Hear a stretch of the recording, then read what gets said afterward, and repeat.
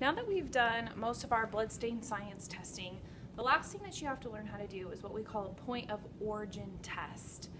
So when you were working in your blood spatter flashcards, there was what we call a point of convergence. So if I have all of these blood spatter drops all around at my crime scene, I can figure out a couple of things.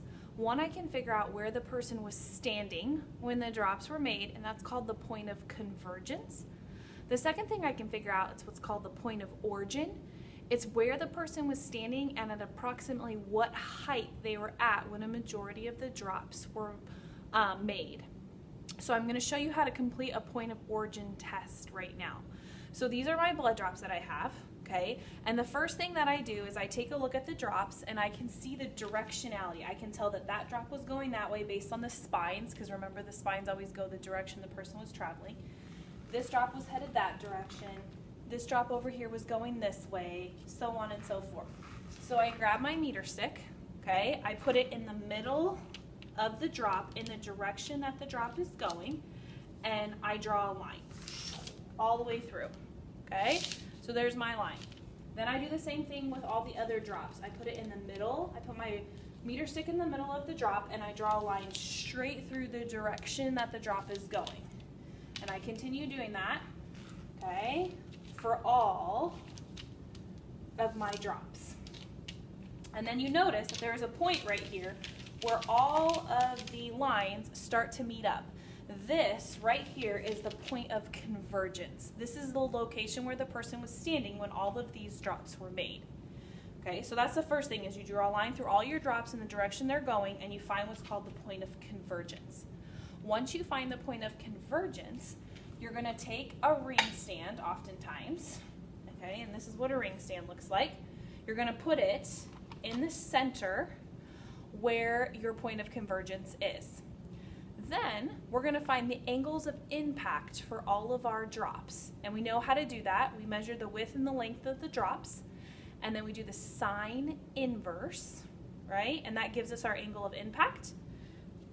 And then we will use a protractor, which looks like this, and we'll put it in our drop, and then we'll use string, and we'll find the pathway of the drop, and that'll tell us approximately how high the person was when these drops were made. So right here, I'm going to start with this drop first. I'm going to measure the width of the drop. Okay, and I measured the width of the drop and it was seven millimeters. Then I'm going to measure the length of the drop, not including the tail. Okay, and that's 19 millimeters. So I'm going to do 7 divided by 19 sine inverse, and that gives me 22 degrees. So I'm going to take my protractor, Okay, I'm gonna put my protractor in the center of the blood drop on the line, okay, that I made to do my point of convergence. I'm gonna take a piece of string, I'm gonna tape it right behind where my drop is. I'm gonna put my protractor in the center, and I'm gonna put this at 22 degrees. Okay, so at 22 degrees on my line, and then I'm gonna tie it to my ring stand.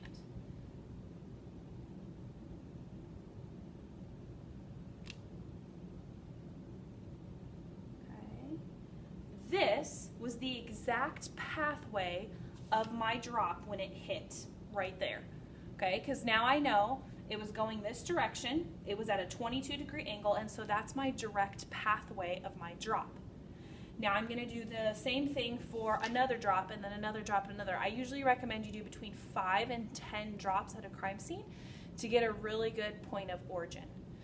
So my next drop I'm going to do is over here, okay? I'm going to measure the width and the length of my drop. So the width of my drop is 8 millimeters. The length of my drop is 17 millimeters. So 8 divided by 17 sine inverse is 28 degrees. I have my string right here. Okay, I put a little piece of tape right behind my dot or my uh, blood drop. And then I'm going to take my protractor. I'm going to put it in the middle of my drop. I'm going to put my string at 28 degrees. Okay, I'm going to get to my ring stand and I'm going to tie it up.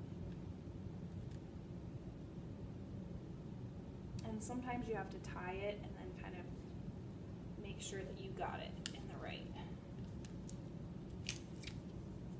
Kind of recheck it and make sure you have to adjust it a little bit once you tie it on there. Okay, and so that's my 28 degrees. Okay, and so I keep doing that with multiple drops. And then when I'm finished, I'll be able to do what we call a point of origin. I'll measure how high okay, once I do all of my drops. Okay, so this is where my strings are attaching themselves to on my um,